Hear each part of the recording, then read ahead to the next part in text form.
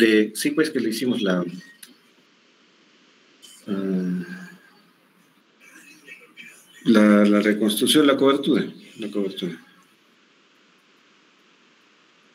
Mm, de aquí comenzamos, ¿no, doctor? Ya, este es, este es cuando hemos entrado a sala, ya ahí no es. Después de haber hecho la limpieza, haber hecho hemostasia, haber retirado los tejidos que no son viables y dejar lo que está bueno. Sigue el, aquí vamos a, acá estamos preparando la matriz dérmica. La matriz dérmica es un, es un componente, médico-biológico que ayuda a hacer coberturas. Crea uh, tejido celular subcutáneo. En, en, en, un tiempo de 20 días prende a la piel y después o al tejido donde está puedes ponerlo encima de hueso, encima de placas de osteosíntesis, encima de tendones, sobre cualquier tejido y crea tejido celular subcutáneo. Encima de esto se coloca un injerto de piel y este, el injerto de piel se lo coloca después de 20 días. A ver, pasa la siguiente. Estamos preparando la matriz, seguimos con la matriz. Aquí es donde ya le estamos colocando la matriz directamente sobre esto. La matriz, esta la que usamos, tiene dos capas. Una de las capas tiene silicona, como vamos a ver ahorita. Lo que estamos haciendo acá es sacar una matriz completa y quitarle la capa de silicona para que nos haga colchón. A ver, pasa. Acá está, ¿ve? Ya nos está haciendo colchón. Y en la mano, al lado derecho, observan, es la matriz, la matriz que le estamos colocando. A ver, pasa. Acá ya hemos colocado la matriz, estamos rotando. Como verán, tiene una capa brillante, esa es la silicona que está externamente. Sigue pasando. Ahí ya está colocada la matriz al 100%. Vamos. Otra foto. Igual, ahora viene como... Hay un video. El video no, ese feo no. He dicho el video, no he dicho el feo. Video.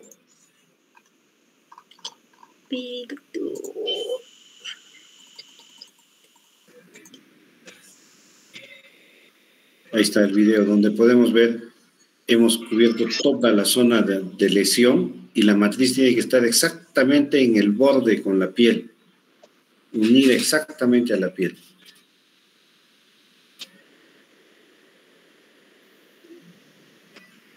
Ahora estas son fotos de hoy día. Observen el color amarillento que tiene la matriz. Eso nos está indicando que sí ha prendido o que está en proceso de, prender la matriz. Eso es muy bueno. Está excelente. En otro ángulo, en la parte superior pueden ver que hay un ligero hematoma, pero hemos intentado ordenar esta mañana y no ha salido nada, felizmente parece que solamente es uh, cambio de coloración. Sigue, to casi todas son de, ese, de la matriz. Acá ven a la matriz, hay puntos intermedios, hemos tenido que hacer este un poco de magia para poder hacer que toda esa capa entre a la superficie, que sea regular sobre la superficie que hemos puesto. Entonces hemos tenido que cortar, reducir, aumentar. Pero está bien, la coloración amarillenta es indicativo de que está yendo bien. Sigue. Este es otro ángulo. Y bueno, esos son los que hemos visto esta mañana. Ya no debe haber más, creo. Ya, pues, mm. ya se han divertido. Por lo menos ya, ya han prestado atención. ¿Qué nos toca hoy día?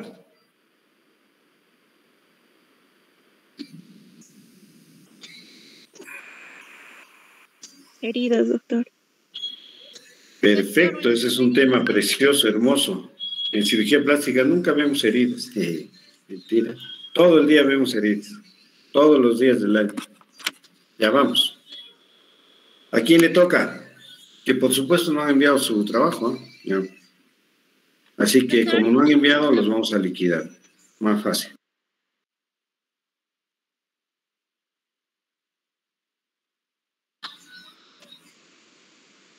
como dicen en el cine, cámaras, acción. Doctor, ¿me puede avisar si se ve, por favor? ¿Me sí se ve. Sí se ve, Carmen. Ya, gracias. Ah, doctor, buenas tardes. Compañeros, buenas tardes. Ahora vamos a abordar lo que son el tema de heridas. En un concepto tenemos que entender que herida se entiende por toda pérdida o solución de continuidad de la piel o de las mucosas ocasionadas por un agente traumático, sea también físico o químico.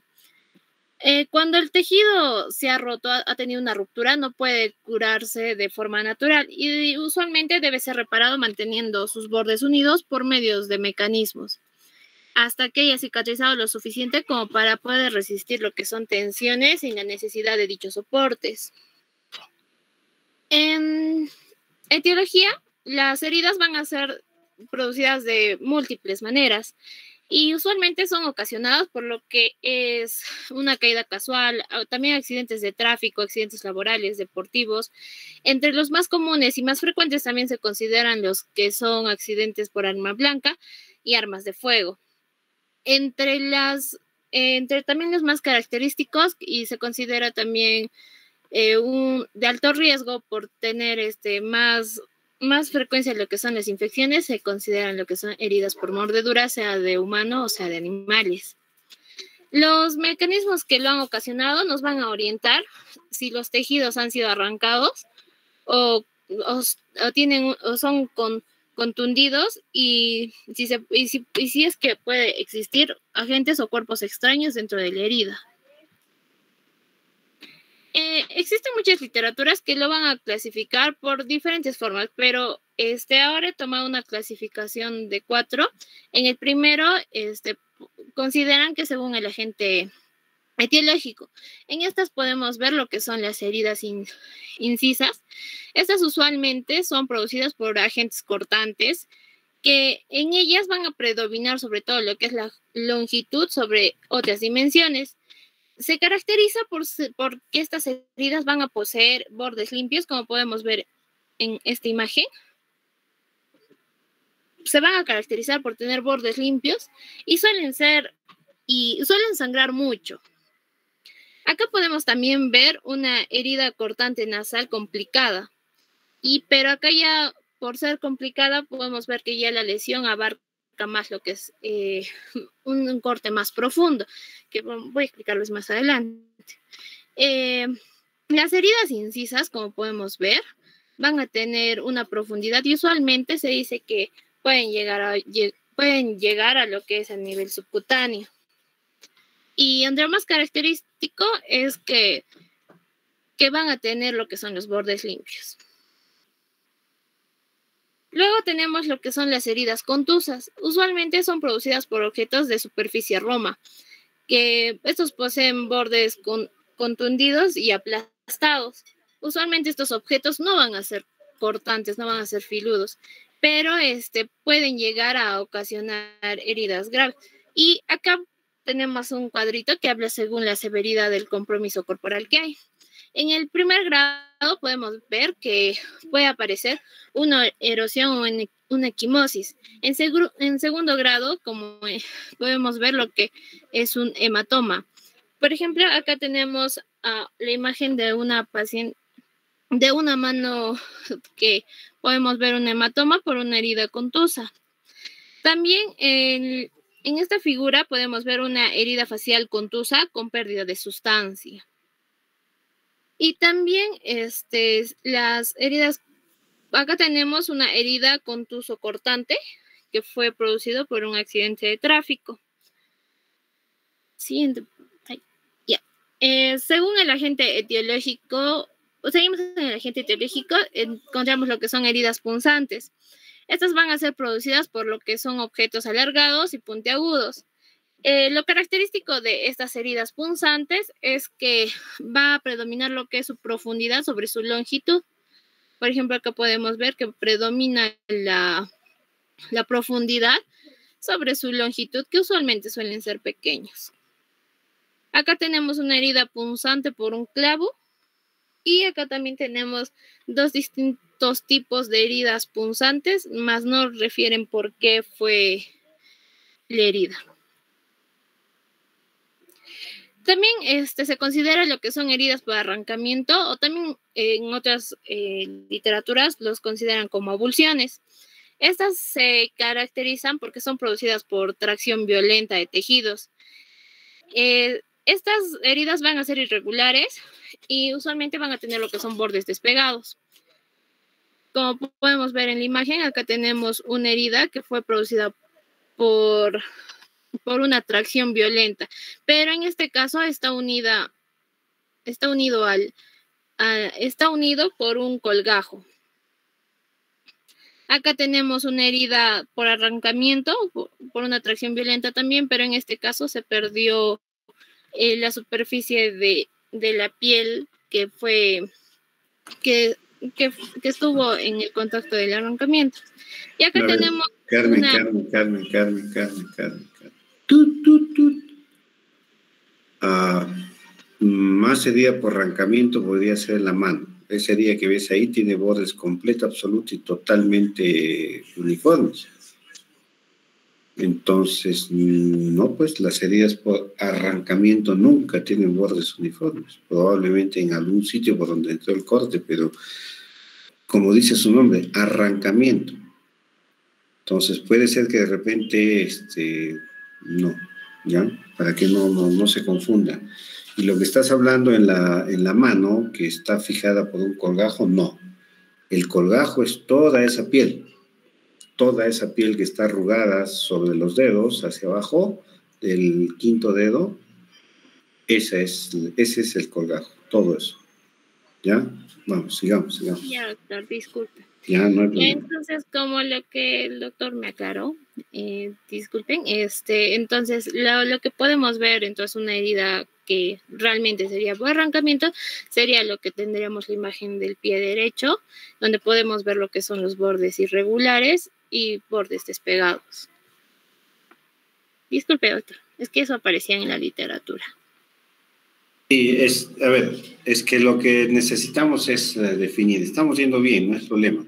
En heridas vamos a encontrar 20.000 clasificaciones, 30.000 situaciones, de todo vamos a encontrar. Pero es bueno ahora que estemos aclarando. Entonces, eh, dice arrancamiento o abulsivas, pues tiene que ser arrancamiento, tiene que haber desgarro. Desgarro, y arrancar. A ver, imagínense, ustedes arranquen un pedazo y jálenlo, entonces nunca va a salir uniforme. ¿Ya? Eso es importante, por favor. Ya. Y literaturas.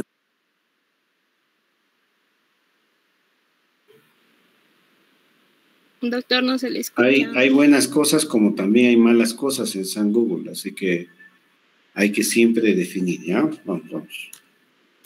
Ya, continúa entonces. Eh, otra que se caracteriza por ser una herida de abulsión es que eh, se considera lo que es abulsión en scrap eh, en esta dice que es la pérdida tipo abulsiva localizada en el cuero cabelludo con o sin exposición de la calota craneal.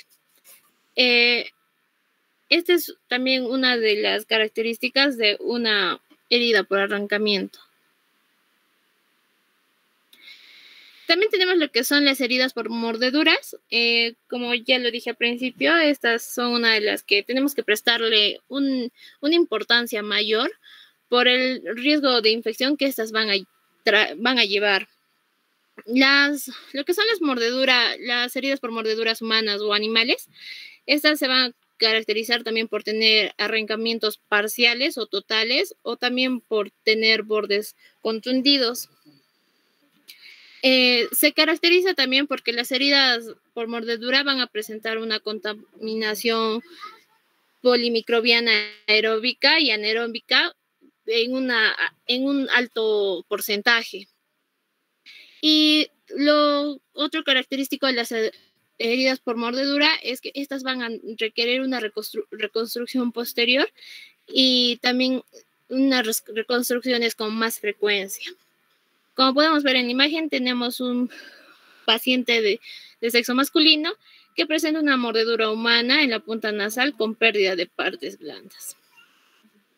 Y también en lo que podemos ver en la imagen derecha, esta es una mordedura por, este, por un animal. que también podemos ver y siguiente. Eh, otra de las características son las heridas por armas de fuego. En esta se considera que el orificio de entrada es menor que la de la salida. Eh, y se caracteriza porque estos van a tener bordes irregulares y también pueden tener bordes evertidos. Eh, usualmente las heridas por arma de fuego no son, o sea, tienen diferentes formas, tienen diferentes tipos de características y son imprecisos. Y usualmente existe una gran pérdida de tejidos. También podemos ver que, eh, como se ven en las imágenes, podemos ver lo que hay presencia de cuerpos extraños, en este caso lo que son de la pólvora. también podemos ver este, lesiones asociadas al, como son las quemaduras que se ven alrededor eh, en el orificio de la entrada. Y sobre todo estas se consideran y van a aparecer si es que la, la herida por arma de fuego ha sido a una corta distancia. Otras que se considera también son las heridas abrasivas. Eh, usualmente estos eh, se dan por pérdidas de las capas superficiales de la piel. Eh, en estas ya sea la epidermis o la dermis o parte de la, de la epidermis, estas usualmente se dan por fricción. O sea, los comúnmente que llamamos los, las rasmilladas, eso es lo característico de estas heridas abrasivas. Em, continuando, también tenemos lo que son las heridas por aplastamiento. Estas pueden aparecer como lesiones superficiales de poca importancia y sobre todo dan lugar a un importante síndrome compartimental. En la imagen podemos ver este, una herida por aplastamiento en el tercer dedo. Eh, otro que también se considera en el grupo de las heridas, pero que se va a tocar en temas más adelante, son lo que son las quemaduras. Porque las quemaduras van a tener su propia clasificación también, este, tanto a su extensión, a su profundidad, pero también se eh, pero también tenemos que saber que están, que son unas, que son heridas. Entonces acá podemos ver en la figura, este es un antebrazo y, y la mano izquierda con quemaduras extensas de segundo grado. En, en, la, en esta clasificación eh, yo consideré que tenemos que también saber que tenemos que saber cuál es el mecanismo de acción. Unas, y entre el mecanismo de acción consideran sobre todo lo que son tres, lo que es la mordedura humana o de animal, por el agente químico, heridas por agentes químicos y heridas por agentes térmicos. Ahora, entrando a la segunda clasificación, es según su forma. Eh, encontramos las heridas lineales, que pueden ser rectas, como podemos ver en la imagen. Pueden también ser curvas y entre las más características están las estrelladas, como podemos ver en la imagen.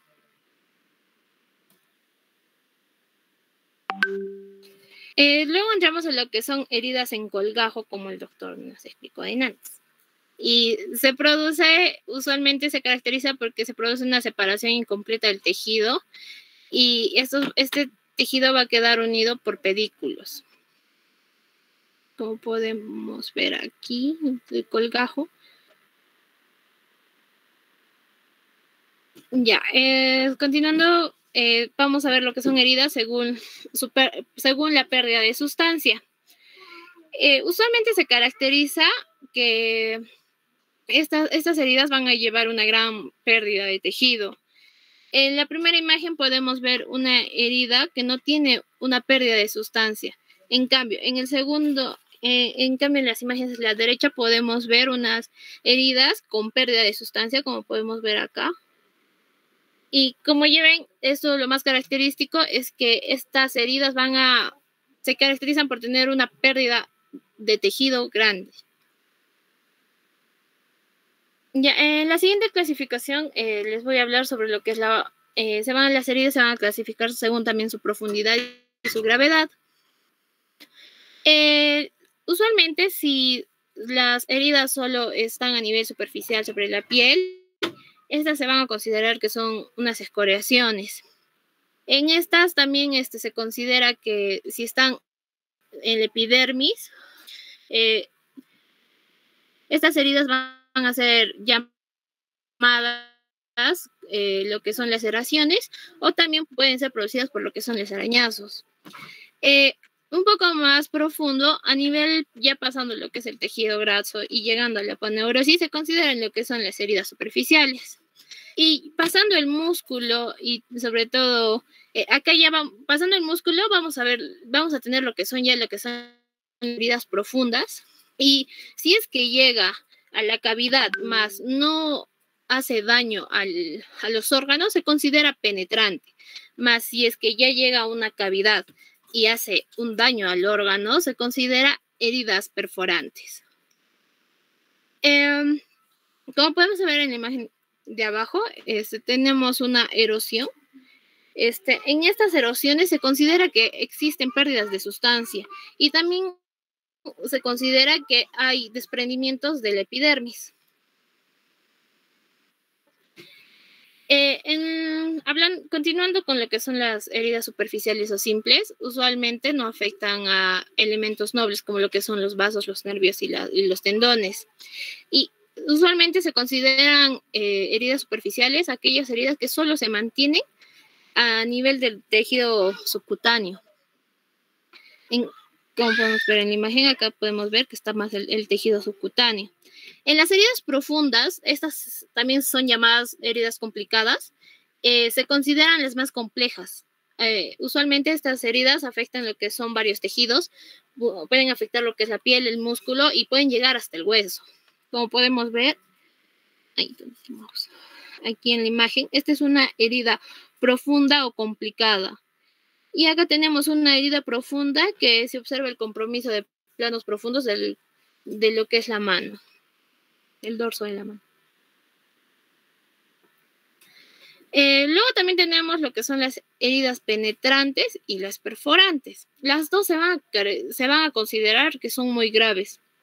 Como ya les dije al principio, las heridas penetrantes van a afectar lo que son las cavidades sin lesionar las vísceras u órganos. Y en cambio, las heridas perforantes van a, van a penetran y lesionan lo que son vísceras u órganos. Eh, acá, por ejemplo, este, podemos ver una herida penetrante en donde eh, primero debemos hacer estudios para ver si es que ha habido alguna lesión, pero usualmente en este tipo de lesiones este, son, o sea, no llegan a, dañar lo que son vísceras u órganos.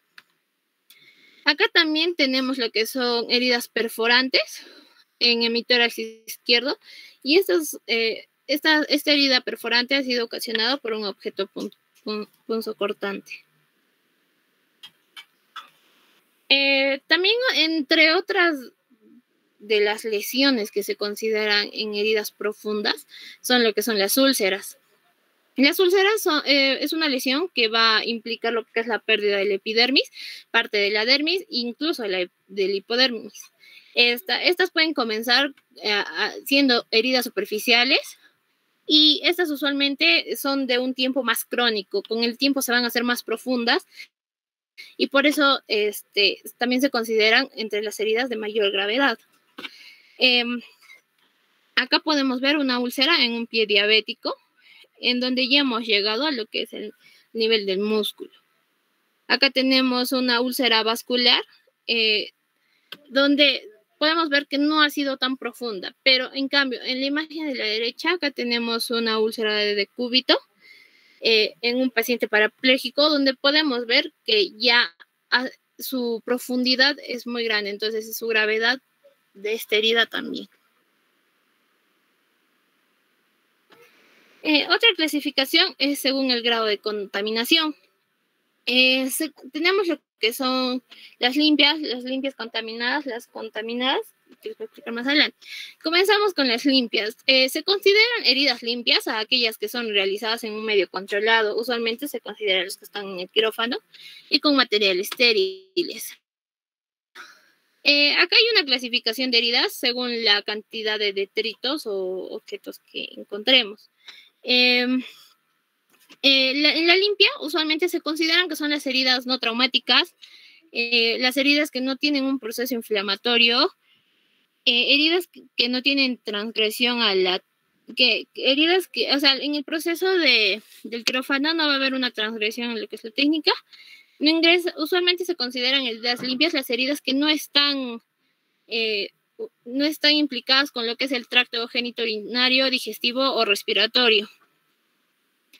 Y en cambio, las heridas limpias contaminadas se dice que son las realizadas en un medio controlado con material estéril pero que se realizan aberturas del tracto respiratorio, del tracto urinario o de las vías biliares.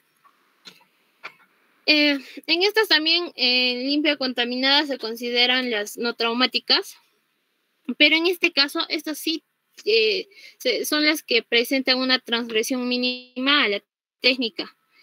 como ya dije, se considera sobre todo las las heridas contaminadas, aquellas que van a tener un contacto directo con lo que es el tracto digestivo, el tracto, eh, el tracto gastrourinario y el tracto respiratorio.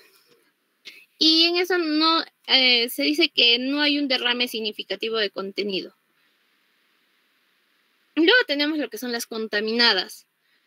Eh, usualmente las contaminadas no se realizan dentro de un medio controlado ni con material estéril usualmente acá ya podemos ver que hay una contaminación evidente que, y podemos ver, pero que no tienen purulencia.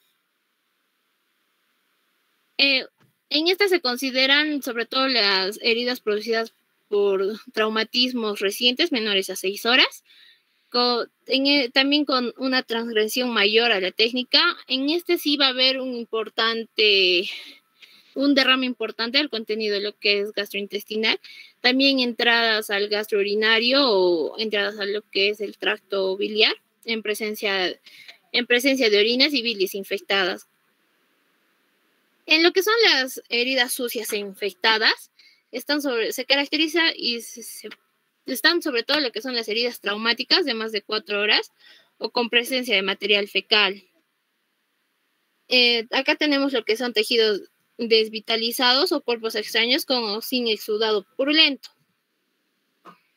Em, en esta clasificación, la 4, se considera usualmente que son ya las, las heridas traumáticas eh, sucias, eh, que van a tener, eh, que han tenido un tratamiento tardío después de las 6 horas. también se consideran las heridas que han tenido una contaminación fecal o que están en contacto con cuerpos extraños o tejidos desvitalizados retenidos. Por ejemplo, una herida por arma de fuego se considera una herida sucia infectada. Usualmente en estas heridas también podemos ver que hay colecciones de purulencia.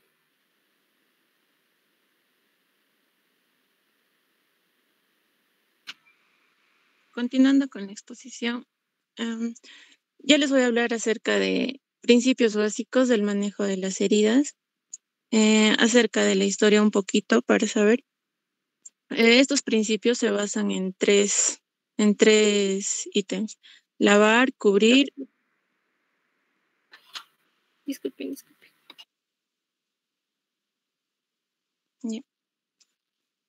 Les decía que nos basamos en tres puntos, que es lavar, cubrir, inmovilizar. Y esto se dio desde tiempos, incluso por instinto, por los animales que, como sabemos, se lamen sus heridas, ¿no? Se limpian y hacen que la herida, o sea, el miembro que está herido esté inmovilizado, no deja de mover.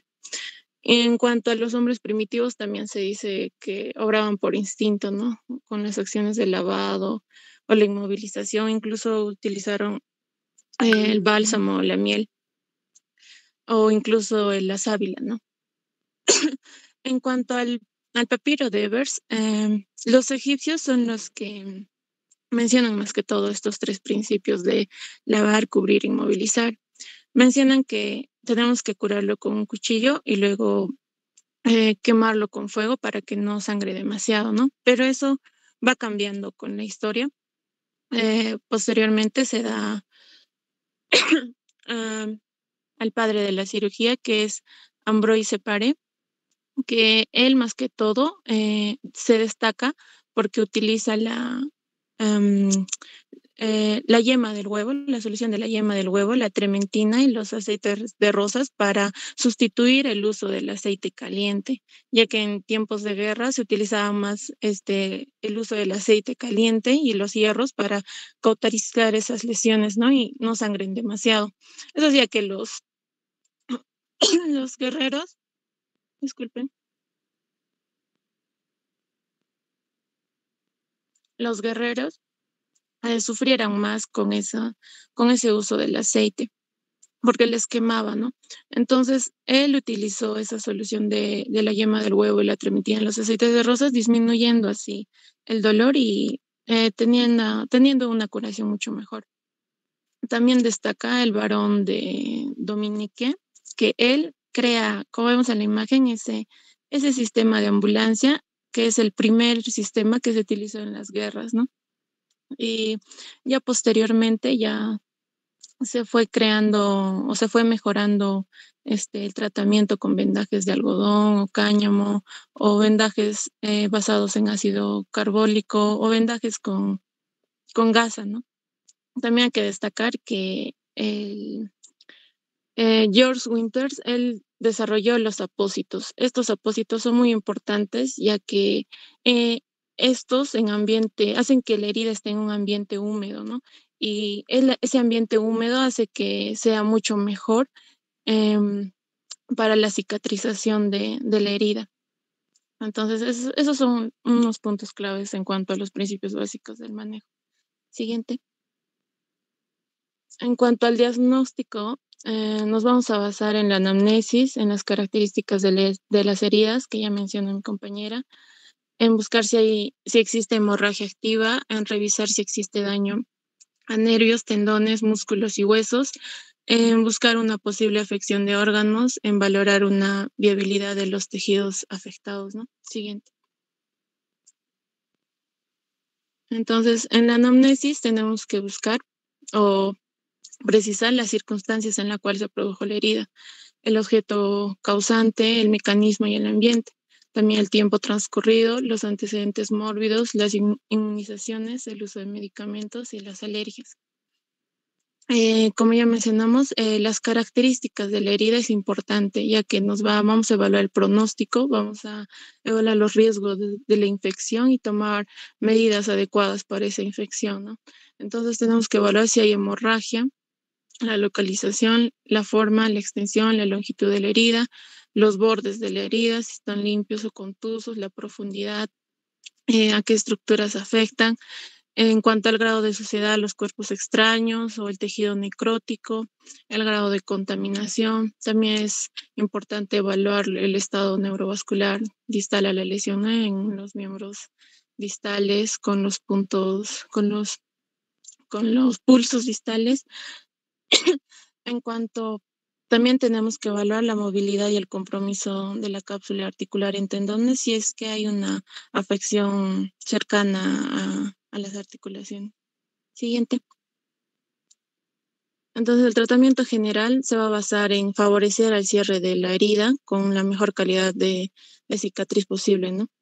Eso como medida estética más que todo. Eh, entonces nos basamos, después de tener la estabilidad y la condición general del paciente, la anamnesis y las características de la herida, los tipos de la curación de la herida. Vamos a basarnos en detener esa hemorragia, posteriormente a la anestesia local por infiltración, a la limpieza de la herida, a la extirpación tisular, a la sutura, a la antibioterapia si es que lo requiere y en la profilaxis antitetánica y antirrábica, en los apósitos y entre otros tipos de tratamiento. Siguiente. Entonces tenemos que saber primero los tipos de curación de las heridas. Tenemos por primera intención. Por primera intención es cuando es la, sutura primaria, ¿no? Con una mínima pérdida del tejido, habitualmente va a dejar una cicatriz con un buen resultado funcional fina y estética. En cuanto a la segunda intención, esta es la curación espontánea con, con un tejido de granulación eh, más que todo esto va a rellenar el fondo de la herida y es el tipo de cierre en el cual la herida mm, está contaminada, ¿no? Y tenemos que esperarlo a que, a que tengamos ese tejido de granulación para luego después ya cerrarlo. En cuanto a la tercera intención, es la sutura primaria retardada. Más que todo, eh, se debe porque la herida está, la herida eh, abierta la dejamos eh, durante las primeras fases de cicatrización, ¿no? Y después continuamos con el cierre quirúrgico para completar esa cicatrización. Habitualmente esta tercera intención es dentro de los cuatro a seis días. Hay que tener en cuenta los factores que afectan a la curación de las heridas. Tenemos locales y sistémicos.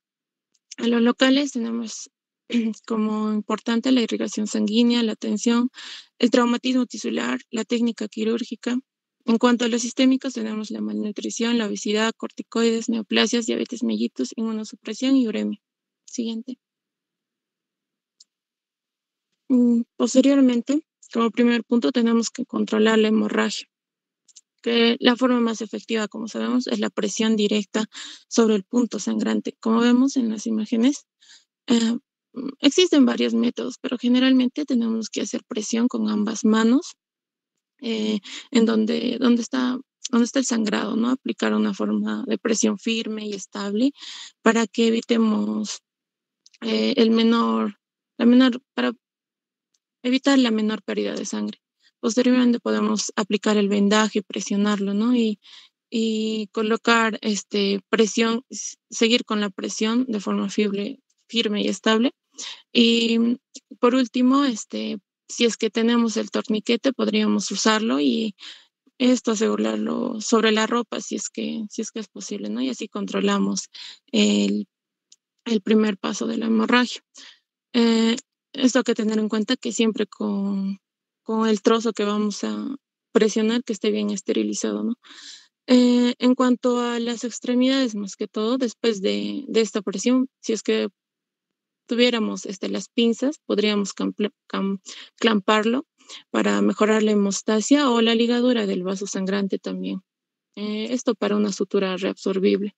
También podemos utilizar el bisturí eléctrico, si es que tenemos disponible, para, para también la, realizar la hemostasia. Siguiente. En cuanto a la anestesia local por infiltración, eh, tenemos a la mepivacaína, a la pubivacaína y a la lidocaína, ¿no? Que estos son los que tienen menos efectos este, secundarios. Estos se van a, se van a, más que todo, van a bloquear la conducción nerviosa en forma reversible. Entonces vamos a tener que la velocidad de la absorción va a ser proporcional a la vascularización. tenemos la intravenosa, va a ser mayor que la traqueal, mayor que la intercostal y mayor que la caudal y mayor que la epidural y esta mayor que la braquial y la subcutánea. Estas anestesias por infiltración tienen también este, reacciones sistémicas, ¿no? Más que todo del sistema nervioso y del sistema cardiovascular.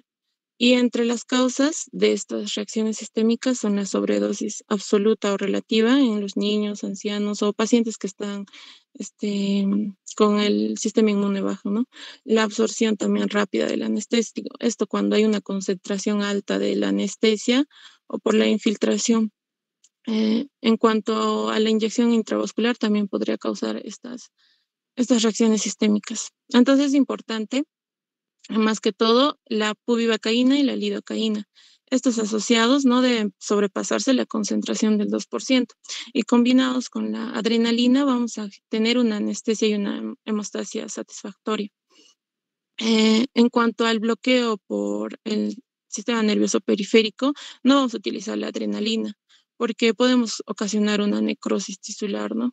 Solo se recomienda un mililitro en cada lado del dedo con las anestesias locales. Siguiente. En cuanto a la limpieza de la herida, más que todo para eliminar ¿no? la materia orgánica, los cuerpos extraños y disminuir así los gérmenes. Tenemos dos zonas, la, el área cutánea perilesional alrededor de la herida ¿no? y la herida propiamente dicha. Entonces utilizamos el suero, el suero salino o los antisépticos, esto más que todo para para los gérmenes anaerobios, ¿no? De forma centrífuga, lo, lo limpiamos el área perilesional. En cuanto al, a la herida propiamente dicha, no utilizamos los antisépticos, ¿no? Como sabemos, va a retrasar, retrasar la cicatrización de la herida.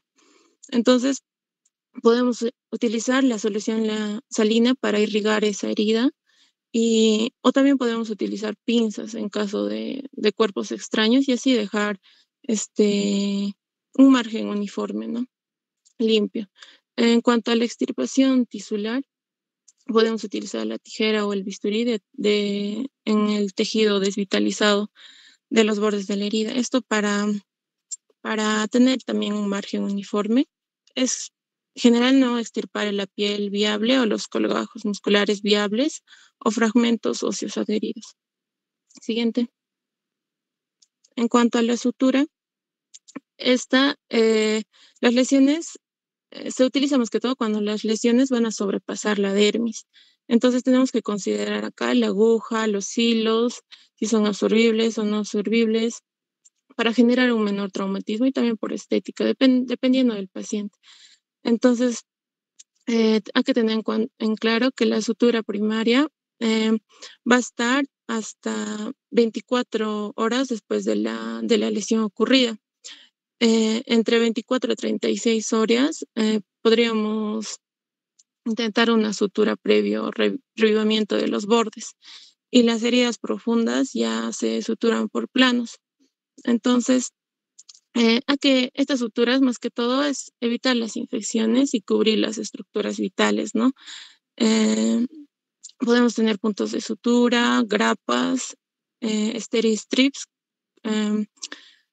En cuanto a, la, a las suturas, hay que tener en cuenta también la cicatrización por segunda intención, ya que estas, em, debido a estas, podemos eh, saber cuándo no cerrar una herida.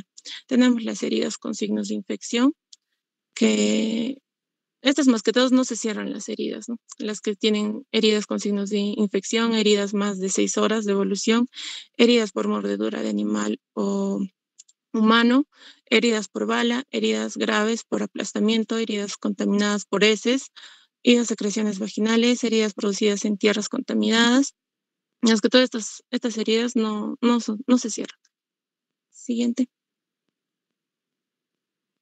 En cuanto a la antibiótica, antibiótico-terapia, nos vamos a depender de la clasificación del grado de contaminación, como mi compañera ya lo mencionó. Tenemos la del tipo 1, la limpia, del tipo 2, limpia contaminada, la de tipo 3 contaminada y la de tipo 4, que era la sucia, ¿no? En el tipo 1 generalmente no requiere la profilaxis en el, a partir del tipo 2, 3 o 4 requiere la profilaxis, pero eso también depende de la gravedad de la herida.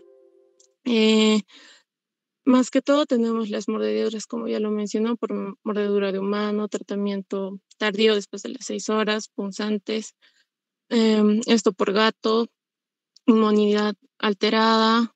Eh, en cuanto a la cara, y la mano, estas son las que más que no se utilizan tanto la antibioterapia, pero si es que tiene asociado a las otras mencionadas, podríamos utilizarlo. Esto debido a que tienen una vascularización enorme, ¿no? Que les ayudaría. Eh, entonces, el, antibiótico que más utilizamos es la amoxicilina más ácido clavulánico durante cinco días. Y si es si hay un caso de infección, podemos utilizarlo incluso durante 10 días. Eh, por vía tópica no, no han demostrado una eficacia dudosa. Entonces, para aplicar estos antibióticos tenemos que ver los signos de infección, que son los eritemas, la celulitis, la tumefacción y el exudado purulento, ¿no? Ya si es que observamos, podríamos aplicarlo. Siguiente. Tenemos los apósitos. Estos, más que todo, nos ayudan a favorecer la cicatrización solo si la herida no va a estar infectada, ya que si, nos, si está infectada lo cerramos, podríamos eh, empeorar esa infección, ¿no? Tiene que estar este, desinfectada. Eh, estos apósitos también funcionan como barrera del epitelio y evita el mayor daño posible, debido a que controla el grado de la hidratación y la tensión del oxígeno en la herida. Entonces, como las características más convenientes de esos apósitos, tenemos que promover la cicatrización de la herida, tiene una comodidad, controla el dolor, el olor también, eh, es no alergénico y no irritante, eh, tiene una permeabilidad a, las, a los gases, eh, es seguro, tiene una remoción no traumática y una rentabilidad buena, se podría decir, y una conveniencia, ¿no? Acá tenemos diversos tipos de apósitos. Estos se pueden clasificar en primarios y secundarios. El primario es cuando directamente lo vamos a poner sobre la herida y va a absorber, va a poder absorber los líquidos y va a evitar que la herida se, se, se, seque, ¿no? Y la adherencia, eh, podemos utilizar después de esto la, el apósito secundario, que va a ser con mayor, para una mayor protección, ¿no? Y la absorción y la compresión. Siguiente. Eh, acá podemos ver la clasificación según la complejidad de los apósitos. Podemos ver que hay pasivos, activos, mixtos. Pasivos tenemos las gasas, los apósitos tradicionales y las espumas. En cuanto a los activos, tenemos a las tulo, malas de contacto, apósitos transparentes, espumas hidrofílicas o hidrocelulares, los hidrocoloides, el hidrogel, los algilnatos, el apósitos de plata. En cuanto a los mixtos, tenemos a los apósitos con elementos mezclados. Entonces, según estos apósitos, eh, por ejemplo, en un tejido necrótico podríamos usar la gasa tejida o el hidrogel o, el transparente. Para, para, una herida, para poder observar, podemos usar la gasa prensada, las espumas pasivas y activas o los alginatos. En cuanto al proteger el tejido de granulación, podemos usar los tools o, mal, o malas de contacto, el transparente o el hidrocoloide. Y en cuanto a la infección, esto hay que tener mucho cuidado porque tenemos que preguntar eh, si ha usado tópicos o por cuánto tiempo. Y de acuerdo a eso ya podemos usar las gasas para no empeorar la herida, ¿no? Siguiente. Y por último, para ayudar a, estas, a estos apósitos, tenemos el sistema de cierre ayudado por vacío. El VAC, que este más que todo va a cerrar las heridas por una presión negativa. Se recomienda que esta presión sea entre 125, puede llegar hasta 175, pero se recomienda que sea 125. Eh, esto más que todo es eficaz para las heridas abiertas crónicas, por ejemplo, las úlceras diabéticas y úlceras por presión en las etapas 3 o 4. Eh, se aplica, como vemos, un apósito de esponja especial por encima de la, de la herida y posteriormente, este, eh, o sobre el colgajo del injerto, ¿no? Y eso va a eliminar los exudados de la herida. Siguiente. También hay que tener en cuenta la profilaxis antitetánica. Esto para, la, para el clostridium tetanino. Eh, como sabemos, eh, nosotros vamos a generar los anticuerpos a partir de la tercera semana y vamos a desarrollar una inmunidad durante los 10 años posterior a esta profilaxis antitetánica. Más que todo es para prevenir riesgos en heridas de alto riesgo. Eh, ya mencionamos heridas mayores a 6 horas de evolución, anfractuosas con profundidades mayores a un centímetro, con tejido no viable y contaminada, contaminadas por armas de fuego, quemaduras o congelantes eh, o astas de toro.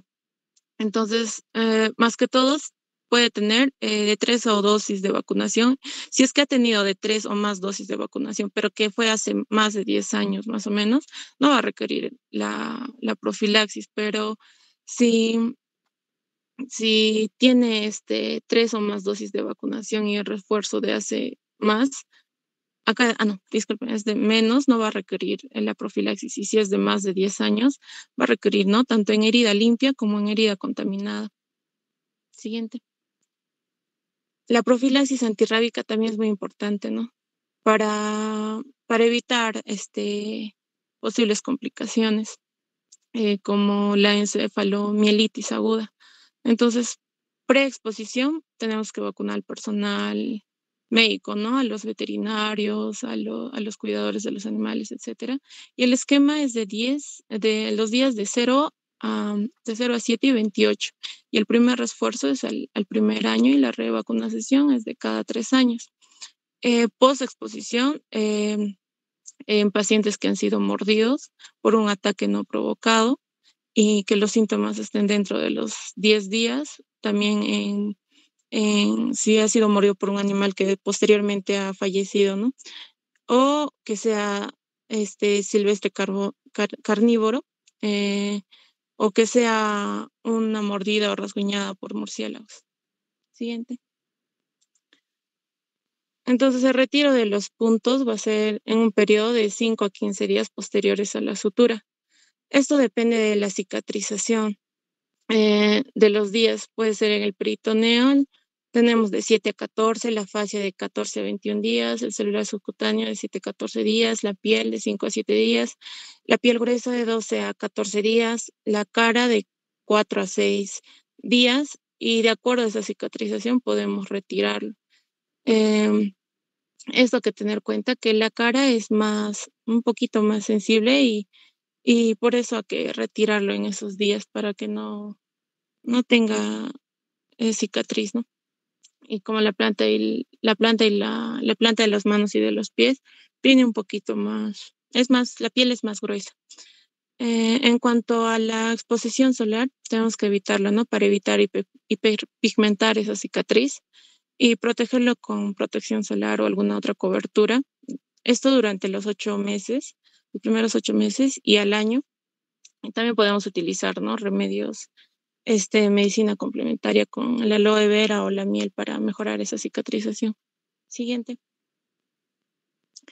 Y por último, las complicaciones que tendríamos en estas heridas sería la, los hematomas o los eromas de la herida, que son como, este, el desaroma es como una tumoración, ¿no? Eh, esto sin fiebre, más que todo es por una acumulación serosa o hemática de, después de la, de la curación de la herida. Eh, acá debemos drenarla por aspiración, ¿no? Y abrir la, la herida totalmente. También podemos tener por una infección de la herida esto puede ser a los tres o cinco días después de la sutura. La piel puede estar roja o le puede doler o puede estar fluctuante. Entonces tenemos que retirar los puntos, drenarlo y limpiarlo con el suero salino, ¿no? Em, en cuanto a la des, des, esencia de la herida, esto más que todo es superficial y la herida no está tan infectada. Eh, aquí tenemos que, que mm, se debe reaproximar los bordes con la cinta adhesiva, pero si en el caso va a estar infectada, podemos utilizar un cierre por segunda o una tercera intención.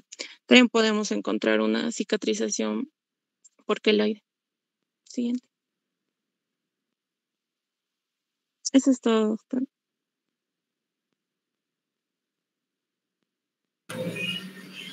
un momentito, voy a presentar las imágenes que usted nos envió.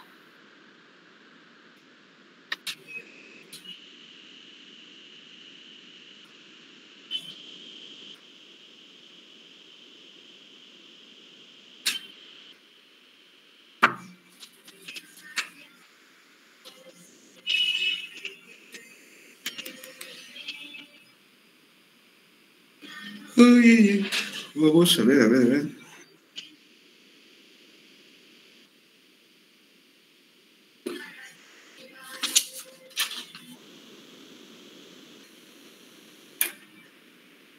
Ya, a ver. Esta es una herida que llega de, de Andahuaylas. Por una, esta es una herida por atricción, abulsión. Pasa, por favor. Una vez que hemos retirado los puntos, ven el dorso del pie, hemos retirado, observen dónde está el primer dedo de la mano derecha, cómo esos bordes no tienen ninguna regularidad. Entonces, esos bordes se han tenido un arrancamiento. Y a diferencia del borde que está en la parte de donde está el hilo por el dorso hacia adelante, Hacia ahí, por ahí, por ahí. Exactamente, eso es más uniforme. Ya sea que sea más uniforme porque lo han unido, porque lo han acomodado, lo han arreglado o lo que fuere, pero igual, o sea, tiene un borde mucho más definido. En cambio, el otro no, observen que no. Sigue, por favor. Así es como llegó. Exactamente así. Observen, miren cómo llega la paciente y se dan cuenta, aparentemente no tiene esa característica de herida.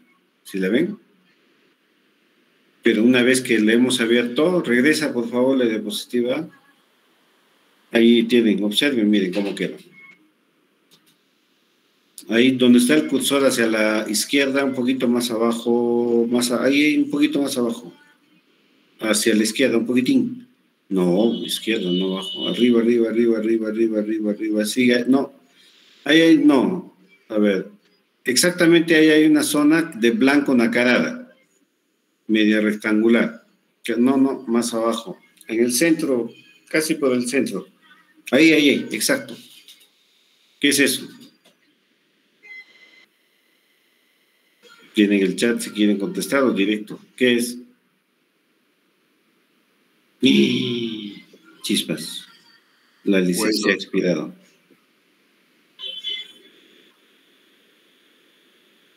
Ya. ¿Qué es eso? A ver, ¿quién puede decir?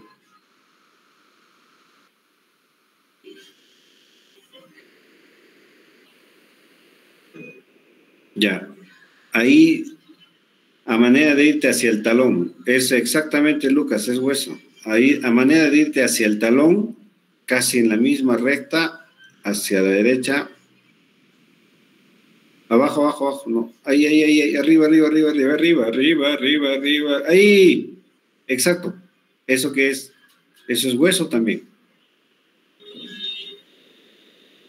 Ahora, donde está el, el, primer dedo de la mano derecha de la foto, ahí abajo, exacto, abajo, abajo, abajo, abajo, abajo, abajo. Sigue abajo, más, recto, recto, ahí, arriba. Eso que es, eso blanco que es, eso. ¿Tendón? ¿Qué es? ¿Tendón? Es el tendón de Aquiles, exactamente.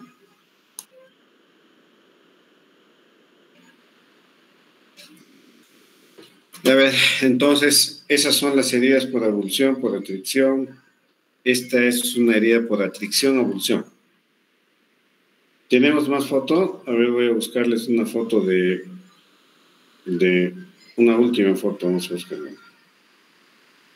Miren, ahí observen cómo se nota claramente los bordes completamente irregulares y este, tenemos la, la presencia de hueso ahí.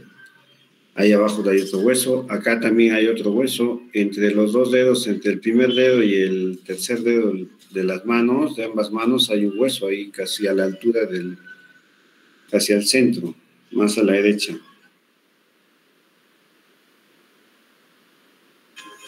Más a la derecha, exactamente, no derecha, derecha, ahí, ahí, derecha, ahí, arriba, arriba, arriba, arriba, arriba, arriba, arriba, ahí, ese es hueso también.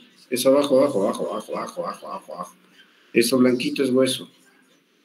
Eso es hueso. Exactamente. A ver, estoy buscando acá la foto, la última foto que le he tomado. Esto ha sido hace poco tiempo. Se la voy a enviar a la compañera para que la presente. Es una paciente, como les digo, que viene de Andahuaylas, así que es un poco difícil su manejo, el control, pero pese a eso, está muy bien. Hemos tomado chispas. Un segundo, por favor. Acá está, no, no Mi celular tiene 800 mil fotografías, es increíble. Denme un minuto, muchachos. Pero ahí aprovechen, vean eso. Esa es una herida, así como les decía. Terrible de las terribles. Ajá. Ya estoy enviándole a vuestra compañera la fotografía de cómo está ahorita.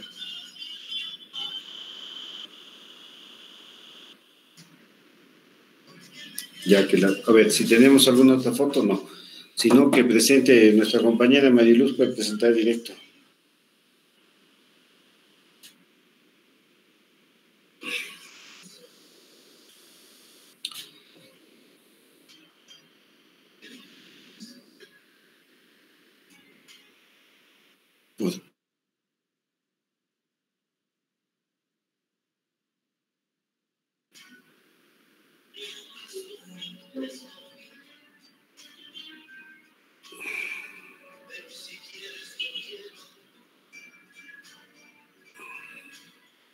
Ahí está. Observen, miren, la, mantenemos el contorno de la herida, pero ya hemos abierto mucho más, hemos eliminado bordes, hemos sacado tejidos que están mal y ahí eh, la herida está mucho más amplia. En la parte central de la herida pueden encontrar, pueden observar, ahí, uh, tienes tu cursor, no está, no sé. Ahí, ahí, ahí, exactamente. Ahí arribita es una úlcera, pero eso se ulceró porque no la curan a la señora, no la lavan, no le lavas la herida, no le lavan y se ha hecho una úlcera residual. Y en la parte de arriba, en un ángulo de 45 hacia la izquierda, hacia arriba, también se ha presentado, exacto, también se ha presentado una úlcera residual con una exposición tendinosa. Entonces, este, como no le hacen un aseo adecuado a la señora, le hemos hecho una, una toma de cultivo, le hemos tomado un cultivo para ver qué es lo que estaba pasando y nos ha salido este, presencia de Chericha coli. Entonces, es por eso que se está ulcerando. Observen las características de, ahí hay una piel que tiene eh, una característica media marrón oscura, ¿verdad? Donde está el cursor, hacia abajito, exactamente abajo. ¿Ya?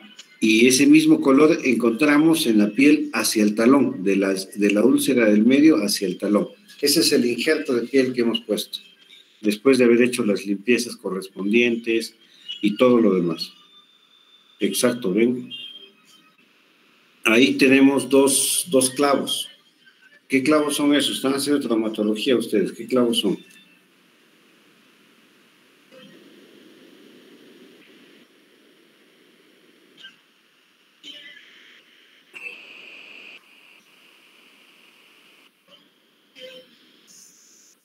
Nadie ha escrito nada.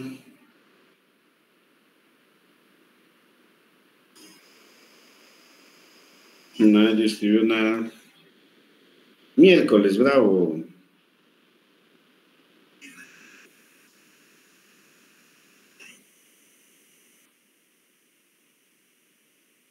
Muy bien. Esas son las heridas que vemos todos los días. Esas son las soluciones que tenemos en, los pacientes todos los días. Ah, observan que normalmente el pie tiende a estar en esta posición cuando estamos echados, el, pie tiende a irse hacia adelante, ¿verdad? Pero esta señora, por, la, por el daño que tuvo, hemos tenido que sacar algunos tendones que con el transcurso de las limpiezas quirúrgicas se han ido necrosando. Entonces, eh, y la misma posición en la que pusimos el pie, le dejamos con una bota de yeso, después por el clavo Kirchner que tiene o los clavos, no puede hacer terapia de rehabilitación, por lo tanto, su pie está en esa posición. ¿Quién sabe cómo se llama esa posición del pie? Equino, doctor. Exactamente, Yulisa, está muy bien. Es pie equino. Eso es por la falta de movilización y por el constante estar colgado. Pero no podemos hacer terapia y el yeso que tenía lo sacó. Los pacientes son muy autodidactas, autocontroladores, etcétera. dice, ya no me sirve el yeso, lo saqué. Pero ese es el resultado. Muy bien, tenemos más grupos para presentar. Por si acaso el examen les voy a poner así una fotito linda y les voy a decir soluciones, esto y aquello y tanto. Esa pregunta vale 10 puntos. Y la otra pregunta es full teoría. Ya, vamos, tenemos otro grupo.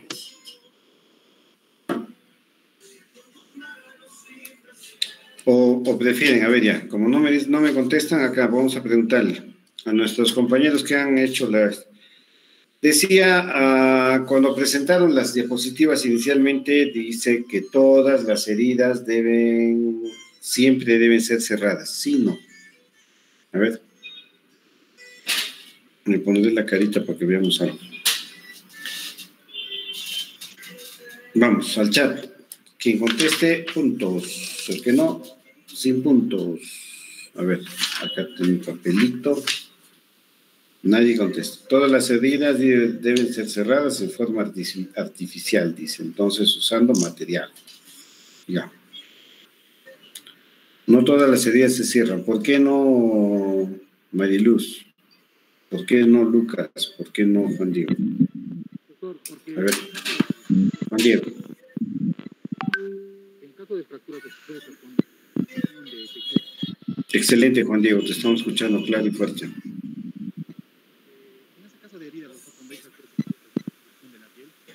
¿Me escucha Juan Diego o soy yo nomás? No, nadie te escucha, Juan Diego.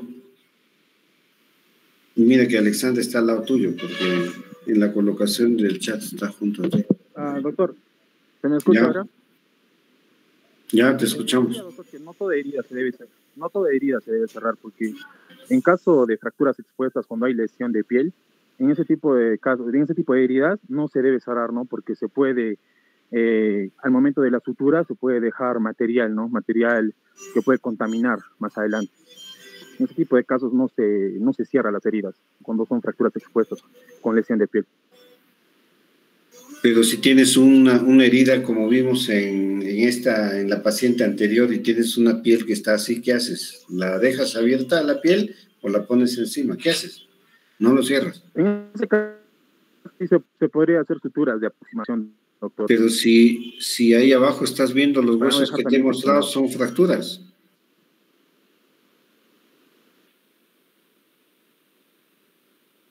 Eh, se ve, sí, sí, doctor, se ve, las, se ve las articulaciones del tarso, pero no veo fractura. Sí hay exposición de articulación y se ve estructura ósea. Y como se ha visto en la foto, también hay lesión de lo que es el tendón del, del músculo peroneo largo, si no me equivoco. Pero no hay, no veo fractura al menos. Ah, bueno, en los clavos, con los clavos endomedulares de Martin Kirchner que se le pone, yo supongo que ha habido una luxación, algo a nivel de esa articulación, ¿no?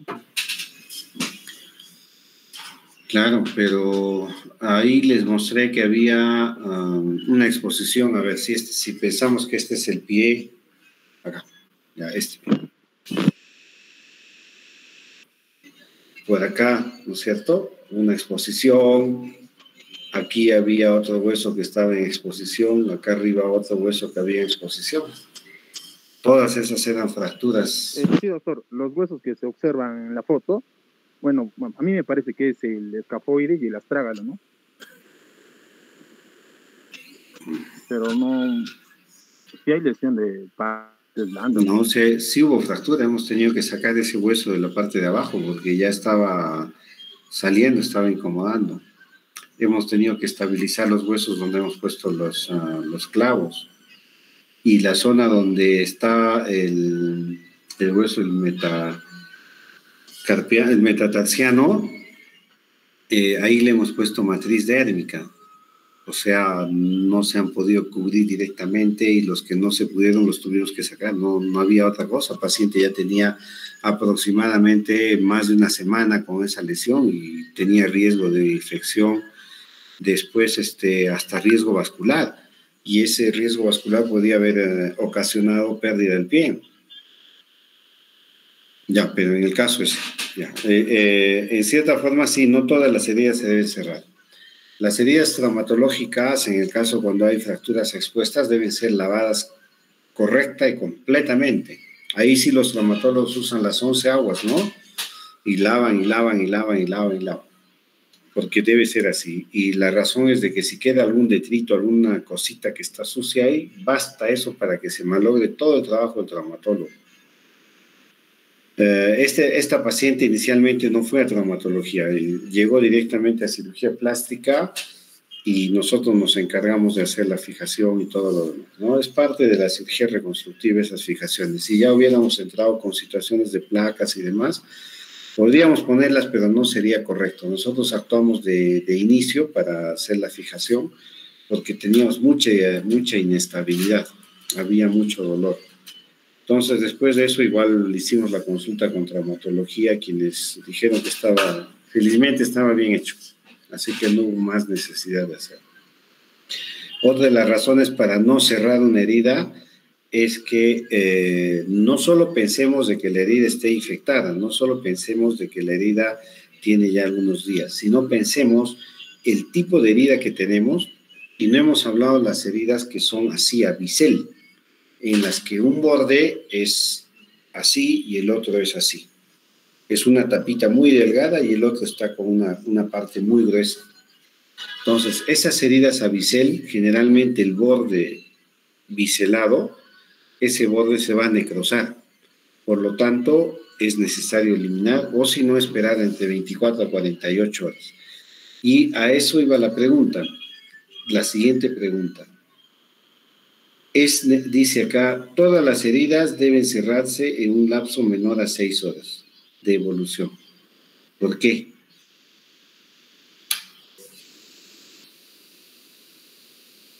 ¿Por qué? Ya tenemos a Juan Diego, tenemos a los compañeros que han participado. Solo tres están participando, eso me gusta.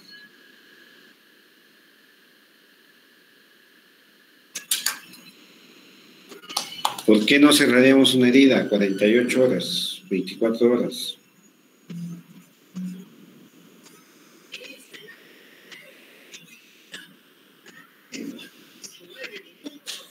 Porque los tejidos en ese lapso de tiempo pueden sufrir, no, no es por la infección, Rubén. No, más bien para evitar infección tendríamos que lavar, lavar, lavar, lavar. Exacto, riesgo de necrosis. Esa es, esa es la razón. Entonces, muchas veces vemos una herida, llegó ahorita hace media hora, seis o veinte, voy a suturar, y a las dos horas comienza a cambiar de color, a las tres horas está peor, al día siguiente está peor, y ¡pap! se abrió la herida y se infectó la herida. Entonces tenemos que tener el, juicio criterio para nosotros pensar que todas esas heridas a bisel, cuando ya vemos algún cambio de coloración o cuando sospechamos que puede suceder algo, decirle al paciente, señor, voy a hacer el lavado, tenemos que esperar a mañana, etcétera, etcétera, con mucha paciencia, tranquilidad. Al día siguiente cierras la herida, no hay ningún problema. Y esa norma que dice de, cerrar seis horas, no es tanto así, ¿ah? no, no es una norma que vaya. No. Eh, algunas personas consideran que pasadas las seis horas eh, la herida ya se infectó o por lo menos ya se contaminó, ¿verdad? Entonces, por esa situación, cerrarla puede ser, pero este, no siempre, no. Podemos muchas veces dejar las, ah, las heridas abiertas porque nos va a ir mucho mejor. ¿Ya? Eso nos ayuda ya también a definir si es que va a haber infección, si no va a haber infección, va a haber necrosis, no va a haber necrosis. ¿Ok? Nos ayuda a cerrar mejor, sobre todo con las heridas que, que van a colgajo y sospechemos de que puedan haber hacer necrosis. Hemos visto hace un rato una mano, ¿verdad? En la cual todo esto estaba abierto. La irrigación de la mano va hacia, es distal, de proximal a distal. Por lo tanto, el retorno no hay. Entonces es probable que esa piel actúe como dos cosas. Una, si la colocamos y es delgada, puede actuar como un injerto y va a prender. Pero si es un poquito gruesa, les aseguro que esa piel probablemente se vaya a necrosar.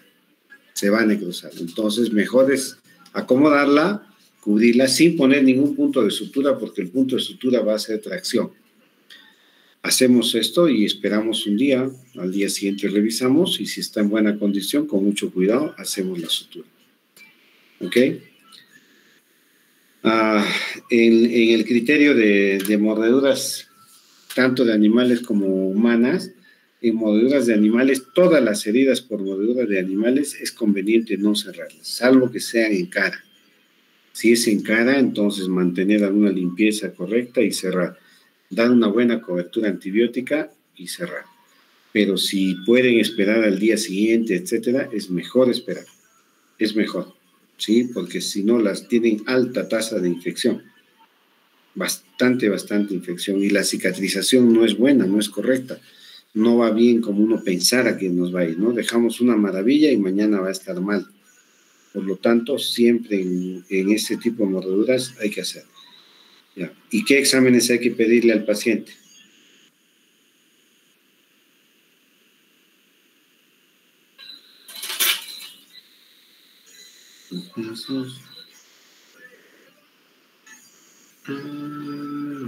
A ver.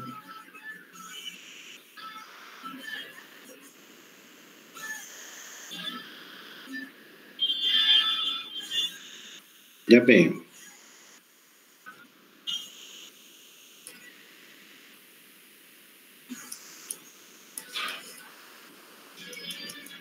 No, no, no, nada. El hemograma no nos va a dar mucho.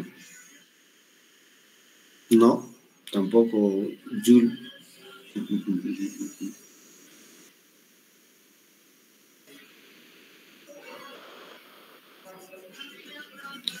ah, estamos pidiendo qué exámenes les vamos a pedir, no qué, qué, le estamos solicitando que nos digan. Nosotros vamos a decirle, señor, tiene que hacerse estos exámenes.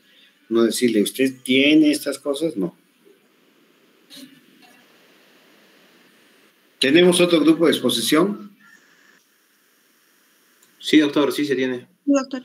Heridas, continúa. Ya, bueno, vamos a ser muy breves, ya yo lo voy a decir. Lo que tenemos que pedirle al paciente es, es uh, no el tiempo de ovulación de sangría, sino tenemos que ver, hay que pedir exámenes para hepatitis y hay que pedir HIV. Lo mínimo que se le puede pedir, ¿ok? Bien, Yulisa, es lo mínimo que le podemos pedir. Es necesario porque este paciente tiene que tener un basal no vaya a ser que a través de una mordedura se vaya a contagiar, ¿verdad? Entonces, a veces situaciones legales nos van a decir, ¿y, usted por qué no le pidió? Hay chicha morada. Entonces, con que le dejes y le dejes la constancia de que lo ha solicitado, si el paciente lo hace o no lo hace, ya es responsabilidad de él, pero nosotros debemos sí poner. Uh, dos puntos más. Este, habíamos hablado de, de lidocaína para para hacer la, como anestésico, ¿verdad? Hay un anestésico tópico, ¿quién sabe cuál es?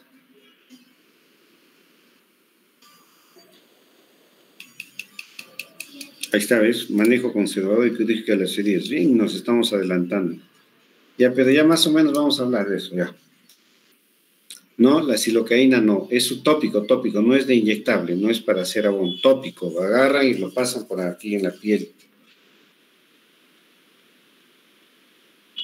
La benzocaína. Mm, negatrompa, tampoco. Es para mucosas. Piel.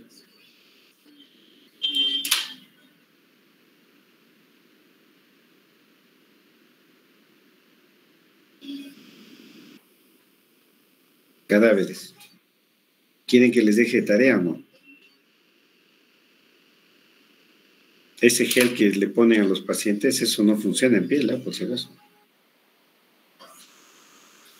Ya, tienen tarea. Ya arranca con manejo conservado y quirúrgico de las heridas. Vamos. Ok, doctor, buenas tardes, eh, compañeros. Eh, hoy vamos a exponer sobre manejo conservador y quirúrgico de heridas. siguiente, por favor. Eh, como punto inicial, el manejo conservador de heridas, este, se va primeramente para la preparación de la leche herida, este, va a haber cuatro componentes para la preparación del lecho, eh, que van a abordar las diferentes alteraciones fisiopatológicas subyacentes a las heridas. Estos componentes van a formar un marco que ofrece a los médicos un enfoque, un enfoque integral para el tratamiento de estas. Y se ha creado, bueno, hay un acrónimo, TIME, que no, no, bueno, nos va a facilitar eso, ¿no? Entonces, la primera, que es eh, Tissue Management, que es el acondicionamiento de los tejidos, este es cuando, bueno, se debe retirar el tejido no vascularizado, ya que va a impedir el proceso de curación, ¿no? El tejido necrotizado, por lo que la desbridación va a proporcionar un ambiente que estimula la la acumulación de tejido sano y así una curación más pronta. ¿no? Eh, como segundo punto vamos a tener el inflammation and infection control, el control de la inflamación y de la infección, este, ya que las heridas a menudo van a ser colonizadas con organismos bacterianos o fúngicos. ¿no? Y en parte de estas heridas van a ya que las heridas usualmente van a permanecer abiertas durante periodos prolongados, pero también este, se va a relacionar con otros factores, ¿no? como la mala circulación de la sangre, la hipoxia y las enfermedades subyacentes. Entonces va, a ser importante eh, saber que bueno, la herida va a tener una carga bacteriana ¿no? y que esto va a afectar a la cicatrización, por lo que es importante mantener libre la herida de contaminación bacteriana. El moisture balance, que va a ser el equilibrio de la humedad, este, se ha comprobado que el mantener húmedas a las heridas va a acelerar el proceso de epitelización y esto va a llevar, va a llevar ¿no? al desarrollo de una amplia este, gama de apósitos que se va a exponer más adelante y que van a conservar esta humedad y van a promover, a promover este, la curación de heridas, ¿no? Eh, igualmente, este, tenemos como un cuarto punto el epithelial advancement, eh, el avance de los bordes, que esto usualmente este, se va a dar una curación efectiva de las heridas y va a requerir este, del restablecimiento de un epitelio intacto y de las funciones de, de, las funciones de la piel, ¿no? Entonces, en este proceso, en este proceso de epitelización, este, se, va, se puede ver afectado cuando hay fallas en la matriz celular o hay isquemia, por lo que se, se llega a inhibir la migración de queratinocitos y su adhesión de estas, ¿no? Eh, entonces, el empaquetamiento de heridas se considera un tratamiento estándar básico. Eh, el sellar las heridas eh, asociadas con espacio muerto significativo o socavamiento va a ser importante para reducir el espacio muerto fisiológico y para absorber la acumulación de exudado o seroma que se haya acumulado y reducir el riesgo de una infección o posibles complicaciones. Siguiente, por favor.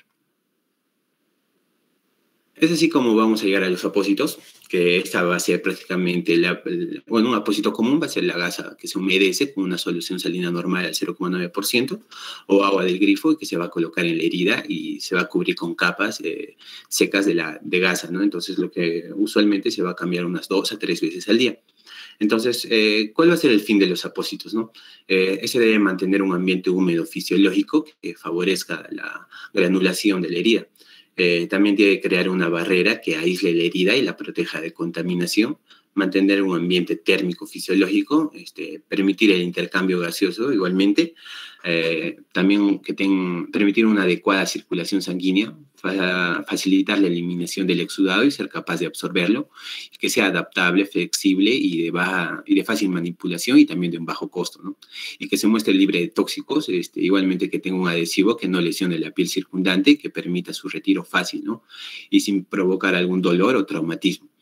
Y bueno, y también que permita valorar la evolución de la lesión este, sin retirarlo, ¿no? Y que, eh, bueno, no, le, no libere tampoco ningún mal olor y, ni que manche la piel ni la herida, ¿no? Entonces, a medida que la gas humedecida esta se, se seca, este, se adhiere a los tejidos de la superficie que luego se retiran cuando se cambia el apósito, ¿no? Entonces, los cambios de apósito este, deben ser lo suficientemente frecuentes para que la gasa no se seque por completo, eh, lo que puede ser de dos a tres veces por día, ¿no? Entonces, una desventaja de estos apósitos es que también puede eliminar el tejido de granulación en desarrollo, ¿no? Lo que, resulta, lo que va a resultar en una nueva lesión. Eh, entonces estos apósitos este, se interrumpen cuando se ha eliminado todo el tejido necrótico y se produce la granulación. Es importante por eso este, eh, observar con cada cambio que se da en los apósitos. Siguiente.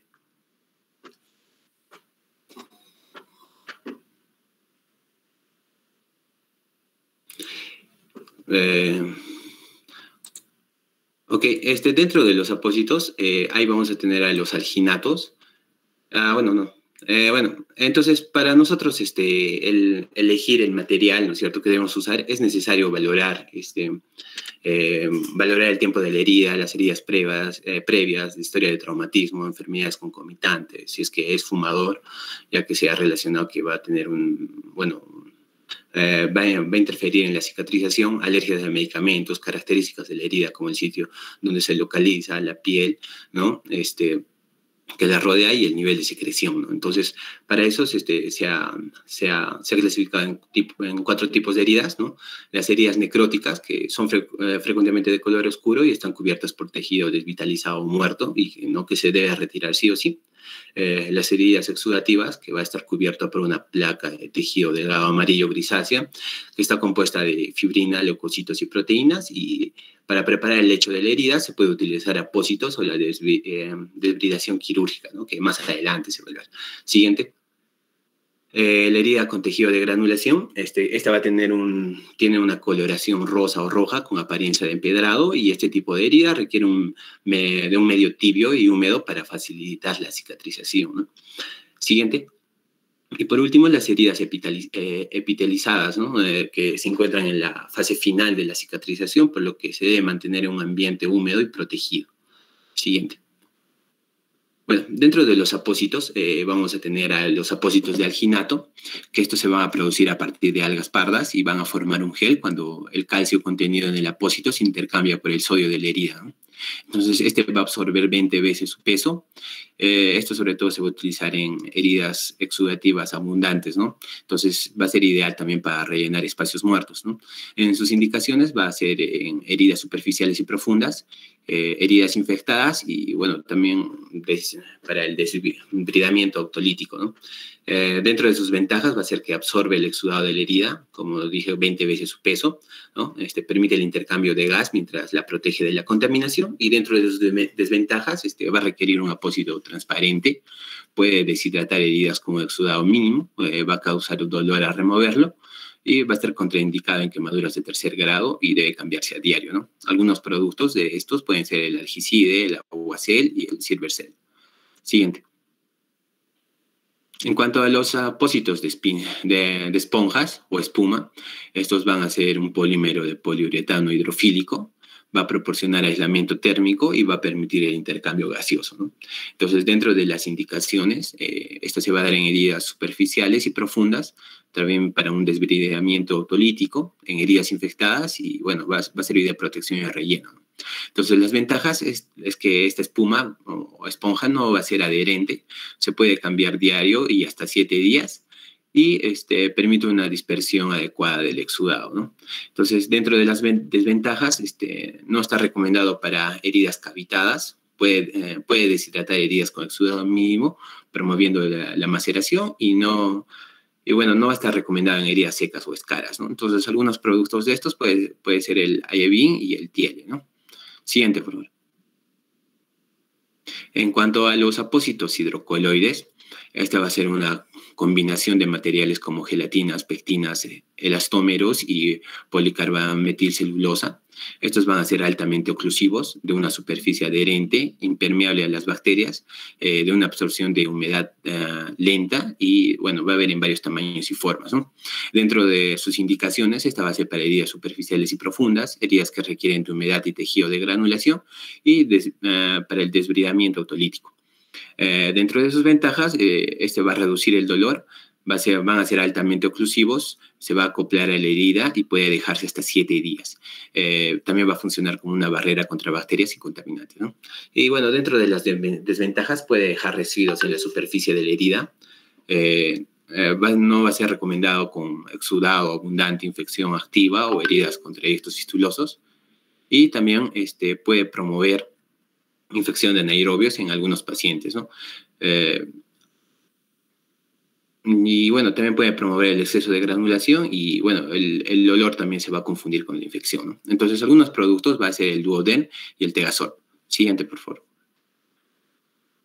En cuanto a los apósitos de hidrogeles, este va a ser un polímero en gel u hojas a base de glicerina o agua. Este también va a ser semipermeable, va a absorber microorganismos exudados o tejidos necróticos y va a estimular la cicatrización.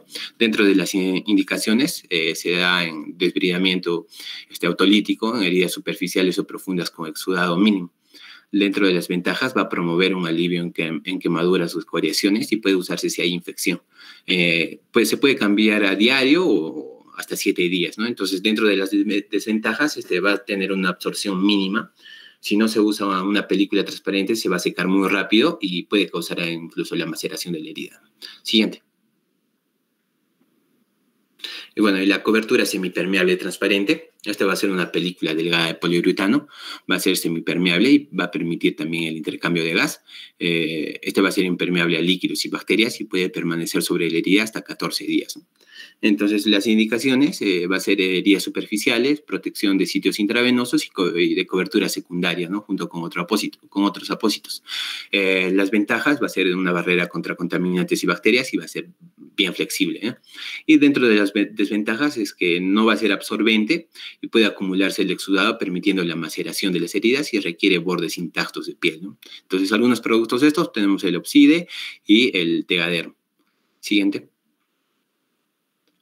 Y bueno, los apósitos antimicrobianos, que estos van a crear una barrera antimicrobiana y la mayoría va a tener un amplio espectro bacteriano. Entonces, dentro de sus indicaciones van a ser heridas colonizadas o infectadas, heridas agudas o crónicas, y sus ventajas puede usarse con otros apósitos y también se puede usar tanto en heridas secas como en húmedas. Eh, dentro de sus desventajas va a ser que necesita cobertura transparente, eh, la que vimos anteriormente, y los que contienen este, plata van a manchar la piel, ¿no? Y no están recomendados del todo igualmente. Siguiente, por favor. Bueno, pasando a otro tipo de terapia, vamos a tener la terapia de presión negativa, que a principios de los 90, este, Argenta y Mori Kaus este, introdujeron la terapia de presión negativa, ¿no? En su primera publicación en 1997. Entonces, eh, esto va a consistir eh, en un adhesivo con un tubo conectado a un recipiente de recolección y una fuente de vacío, como se puede ver en la imagen, ¿no? Entonces, eh, el material de interfaz va a ser una esponja de poliuretano de poro abierto hidrófobo que tiene que sellar adecuadamente para mantener el vacío o el aire. Eh, ¿no es cierto? Y bueno, y así causando una desecación de, de, esta, ¿no? Entonces, otros materiales que se utilizan son esponjas con alcohol polivinílico o gasas, ¿no? Y estos deben actuar como una interfaz para distribuir el vacío a lo largo de la herida y permitir que se eliminen fluidos, ¿no? Entonces, la presión este, negativa que se puede aplicar este, debe ser constante, puede ser constante o intermitente, ¿no? Y se recomienda de una, una presión de 125 milímetros de, mercurio hasta 175 milímetros de mercurio, ¿no? Y se va a requerir de cambios de cada 48 a 72 horas, ¿no? Entonces, mm, dentro de los mecanismos de acción, aparte de funcionar como un apósito oclusivo, este, premiendo así la evaporación y la pérdida de calor, eh, eh, también va a permitir que el cambio de flujo, ah, ¿no? Eh, va a incrementar la, perfusión a la herida y el, tejido circundante, que va a ser vital para que cicatrice la herida. Este, va a disminuir el edema y remueve las secreciones y esto va a disminuir también la exposición a bacterias, citocinas inflamatorias y metaloproteínas que pueden contribuir a la formación de una herida crónica. Y también va a promover la contracción, la contracción de la herida y la formación de tejido de granulación. Eh, igual ahí, se puede ver en la imagen, ¿no? Este, incluso los pasos, eh, lo cual primeramente se tiene que dar una limpieza de la herida, este, cortar y colocar el apósito, este, colocar la lámina este, adhesiva, eh, recortar el orificio de la lámina, y colocar la almohadilla y activar la terapia, ¿no? En este caso el aparato PAC, que se llama. ¿no? Siguiente, por favor. Ya, en cuanto a otros manejos, este, bueno, ¿no? Vamos a tener a la miel, que esto ya se da desde hace bueno, desde la antigüedad, ¿no? Entonces, la miel va a ser una solución viscosa con alta osmolaridad, saturada de carbohidratos, derivada del néctar de diversas flores y se ha usado desde tiempos antiguos, ¿no? Como remedio para la curación de heridas. Entonces, la miel va a tener varios mecanismos de acción, ¿no?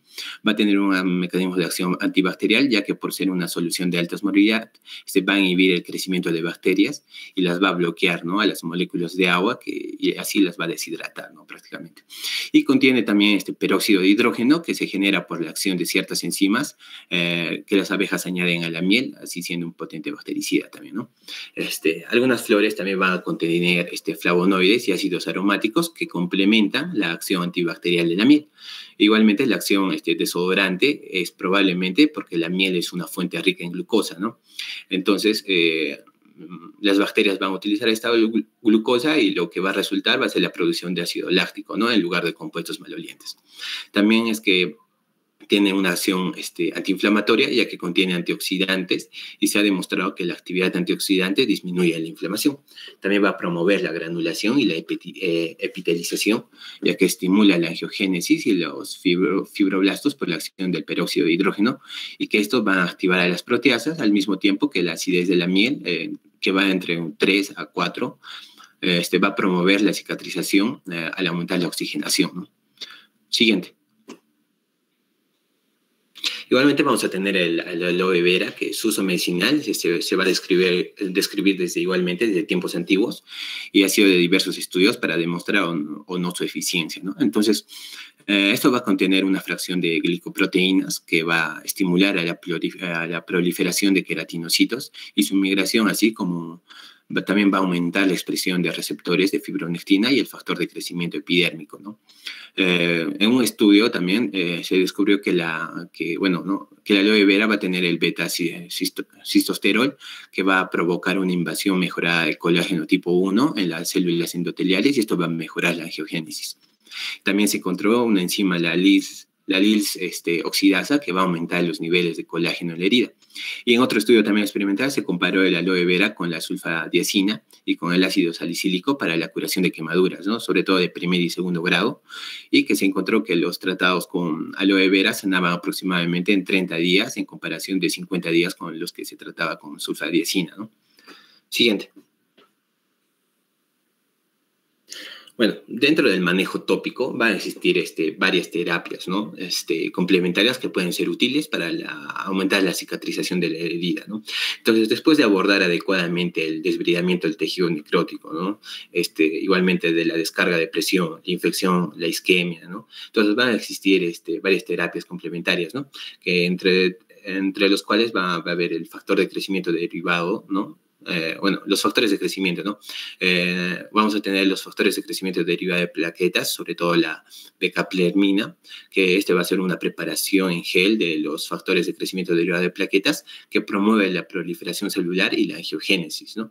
Y por lo tanto va a mejorar la cicatrización de heridas para el tratamiento de úlceras del pie diabético y es el único agente farmacológico aprobado para el tratamiento de heridas crónicas en Estados Unidos, ¿no? Entonces va a ser el único aprobado, este, hasta ahora, ¿no? dentro de, del manejo tópico en cuanto a los factores de crecimiento. El factor de crecimiento epidérmico, eh, en un estudio de úlceras venosas crónicas, este, la aplicación tópica del factor de crecimiento epidérmico recombinante humano se asoció con una mayor reducción del tamaño de la úlcera, ¿no? 7 frente al 3% y una mayor tasa de curación de la úlcera de un 35 frente a un 11% en comparación con eh, el placebo. ¿no? Y el factor de estimulante de colonias de granulocitos y macrófagos, Em, igualmente, ¿no? Este, bueno, se va a dar este, inyecciones intradérmicas del factor estimulante de colonias de granulocitos y, macrófagos y estos van a promover la cicatrización de úlceras eh, crónicas en las piernas, ¿no? incluidas las venosas y se ha utilizado en varios tipos de heridas crónicas para promover la cicatrización. Siguiente. Bueno, vamos a tener también a los antisépticos y agentes microbianos, ¿no? Entonces, algunos antimicrobianos tópicos pueden estar asociados con beneficios este, potenciales en poblaciones de pacientes seleccionadas, ¿no?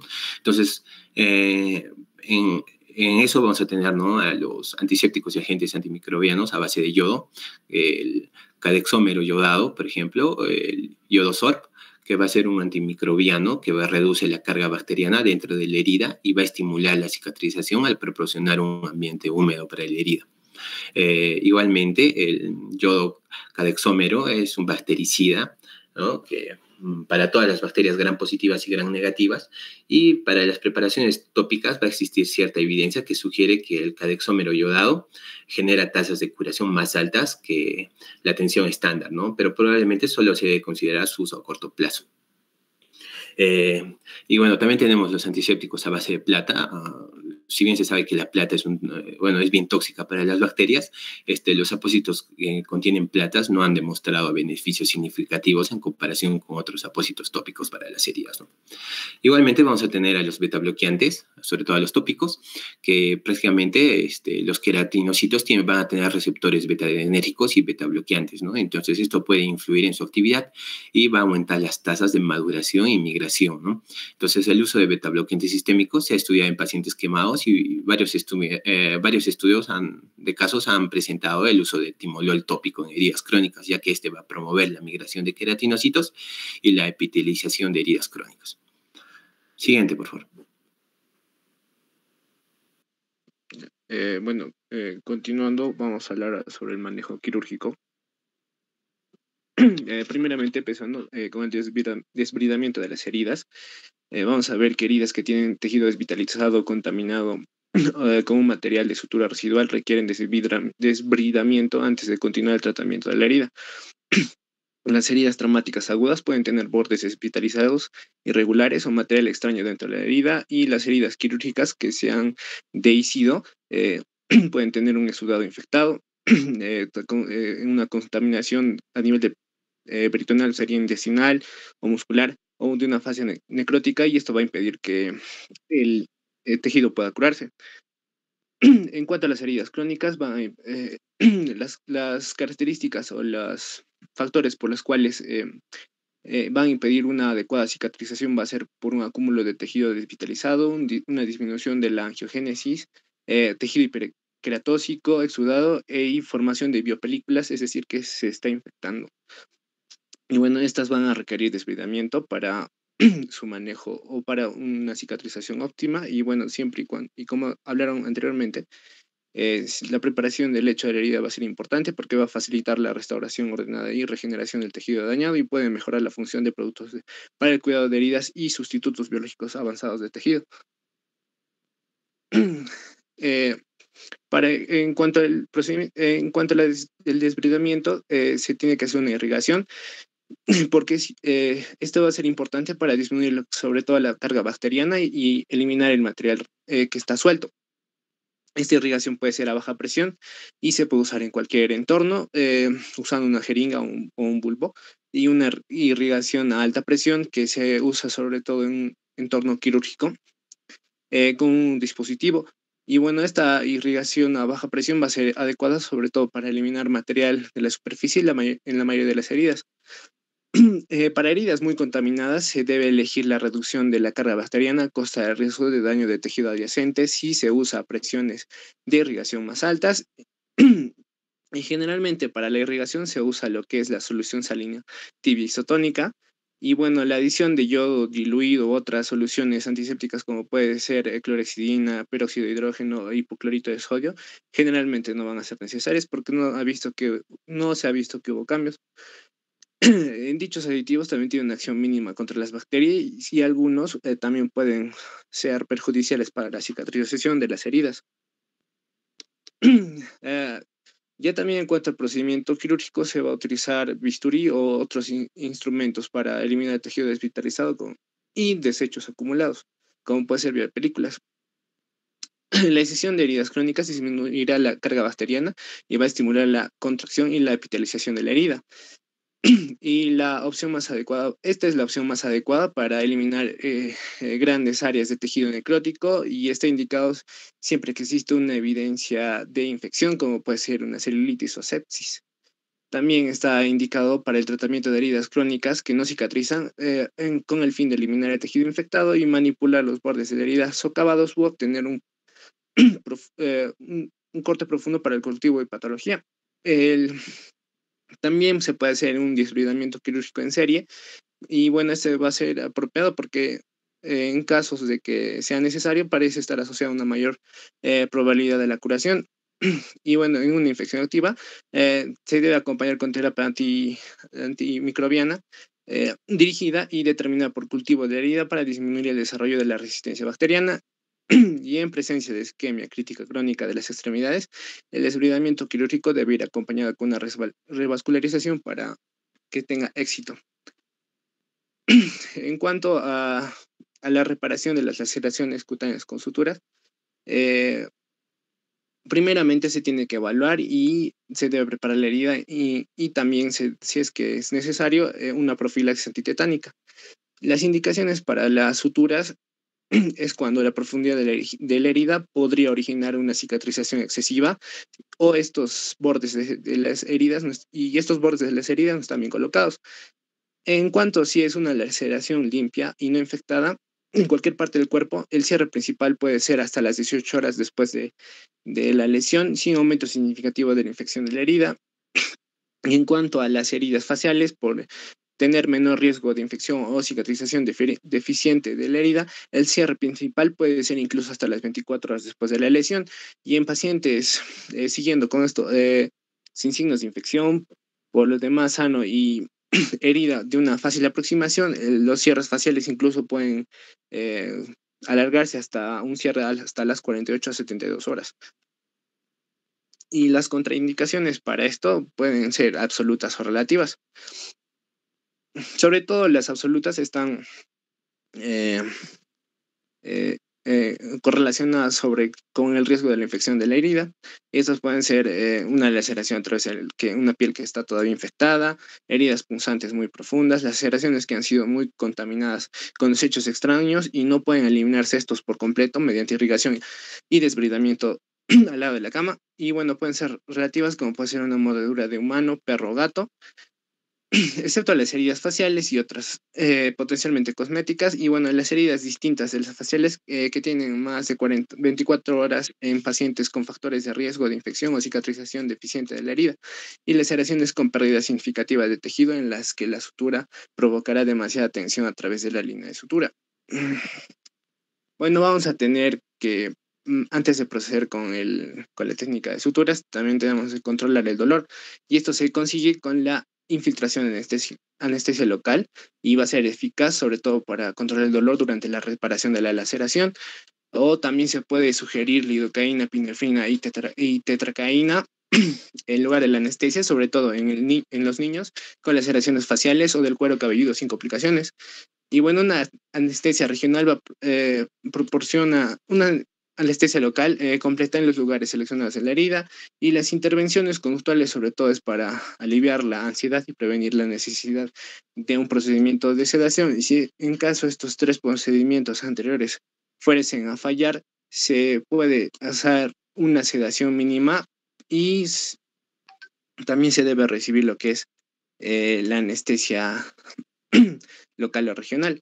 Y cuanto para el equipo, eh, bueno, esto consta del equipo de protección personal, la analgesia, la anestesia, suministros de riego, bandeja de sutura, bisturí eh, de número 10 o 15 y, y mango si es que necesita un desbridamiento afilado o una modificación de la herida. Y bueno, los tipos de sutura para la preparación de las laceraciones de la piel y membranas mucosas vamos a tener de varios tipos, como puede ser para un cierre superficial, que puede ser nylon, eh, que, y esto no, eh, no, esto no va a ser absorbible y bueno, su fuerza de tensión va a ser buena, o sea que se puede usar en lugares de alta tensión.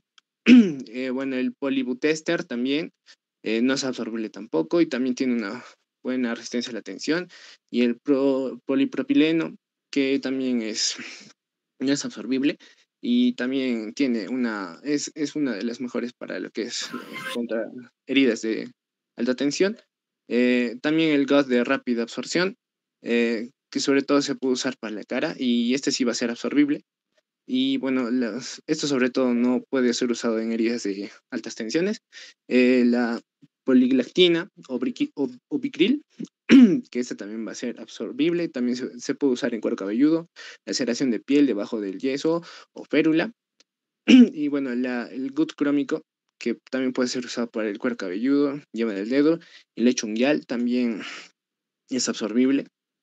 Eh, vamos a tener también para eh, eh, lo que es el cierre profundo subcutáneo, que también puede ser el bicril, el, el poliglecaprone 25 y también para mucosas que puede ser el gut crómico y la poliglactina.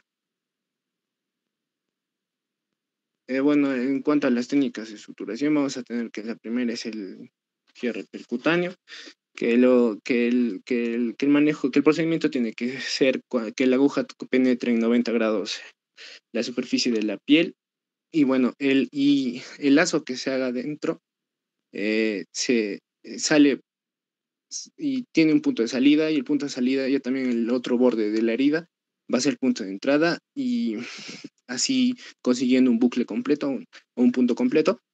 Y bueno, este tiene el borde, el, el lazo ancho, o sea, el, el lazo más ancho tiene que ser el, el que está debajo del el profundo, más que sobre todo el superficial. Eh, y eh, porque si es que, y podemos ver en la figura CID que si es que esto, si es que esto no, no se realiza correctamente, vamos a ver que no va a poder cicatrizar correctamente la herida. Por ejemplo, podemos ver en la, en la SEC eh, y en la figura D que el, el, el, la base del lazo profundo es muy estrecho. Y bueno, la, en, cuanto, en cuanto se culmine el, punto, bueno, se tiene que hacer los nudos eh, y, puede ser un nudo de un nudo cuadrado y otro que es el nudo de cirujano. que sobre todo el nudo de cirujano es cuando la sutura no es absorbible y el cuadrado cuando sí lo es. Y bueno, también el número de ataduras va a depender de esto, que pueden ser de 3 a 4 si es que es absorbible, de 4 a 5 si es que no es absorbible. Y una vez atado el nudo se coloca a un lado o al otro de la herida para que el nudo interfiera con la cicatrización de la herida. Y bueno, en cuanto a una laceración, se ve que cuando se usa un punto simple se tiene que, sobre todo, iniciar sobre, en la línea media y luego eh, se empiezan los siguientes puntos en lo que es a, los laterales de la línea media y luego se continúa hasta que se haya, eh, sobre todo, completado o, o se haya mm, logrado eh, una alineación de la herida para que se pueda cicatrizar correctamente. Bueno, en, cuanto al cierre dérmico, vamos a ver que este se usa sobre todo a nivel de la unión dermoepidérmica y este sobre todo se usa con, suturas más forbibles. Hola. Ya, yo, Juan Joseph, vamos a, vamos a detenernos ahí. Esa parte yo les voy a enseñar en la, cuando hagamos suturas, no se preocupen. Ya, ya estamos casi a tiempo y tenemos compañeros que tienen clases con cardiovascular, creo, ¿no? Sí. Bueno, un pequeño comentario que el manejo de las heridas quirúrgicas, eh, básicamente como su nombre lo dice, es en sala de operaciones en un tópico correcta y adecuadamente bien llevado. O también este, podemos eh, tener la característica de poder eh, hacer las suturas ¿sí? Qui- quirúrgicamente en cualquier ambiente, en una casa, en una, mesa, en el patio, etcétera. Solamente necesitamos tener un poco de criterio y buen juicio para hacerlas, ¿no? Eh, manejo de las heridas en forma conservadora, todos los tipos de apósitos, entre comillas, nos sirven y todos los tipos de apósitos también, entre comillas, no nos sirven. Por lo tanto, el criterio para, para la curación o el tratamiento de heridas cuando no es quirúrgico y estamos en un- una situación conservadora va específicamente a la experiencia que nosotros tengamos en el manejo de las heridas. No pensemos que todas las heridas deben manejarse con alginato, no todas las heridas deben manejarse con sulfadacina, no todas las heridas deben manejarse con furacil, no todas las heridas deben manejarse con X, Y, Z cosas, no. ¿Ok? El criterio les va a dar la experiencia. Pero para, para lo que vamos a hacer ahora es que el manejo correcto de una herida es limpieza con agua y jabón. Muchos antisépticos en la herida pueden ocasionar que las bacterias cambien su, su, su pH y se vuelvan agresivas. Por eso es que en parte de la exposición nuestros compañeros nos han hablado de la miel y la miel evidentemente actúa como algunas situaciones, con, en todo lo que nos han dicho, actúa como desodorante, actúa como antiséptico, actúa como ayudador de granulación. Entonces, pero lo, fundamental de la miel es que cambia el pH del ambiente donde está la herida y hace que algunas bacterias que son de un pH, por ejemplo, ácidos, automáticamente se van, a, se van ahí porque cambia el pH pero no se puede usar en forma permanente ni tampoco por mucho tiempo prolongado, porque puede ocasionar este, alteraciones y crea resistencia también. Ahora, el uso de la miel, podemos usarlo, podemos usar azúcar simple, azúcar rubia, azúcar eh, impalpable, podemos usar eh, miel, podemos usar chancaca, etcétera, lo que ustedes quieran que tenga dulce. ¿Sí? Se usa la miel porque la miel es más pura, es más limpia, etcétera, ¿no? La chancaca es algo ya manipulado, trabajado. Eh, el azúcar también es lo mismo, el azúcar impalpable igual. Ahora, en cuanto a la cobertura de las lesiones de las heridas, eh, es necesario mantener algún tipo de humedad en las heridas. No debemos secar las heridas. Las heridas no deben sanar secas. Las, las heridas deben mantener algo de humedad salvo que la herida esté cerrada al 100% y la podemos dejar seca. Pero si no, es de preferencia mantener siempre algo de, de humedad. Ya son las 5 y 2, entonces, muchachos, vamos a, a cortar.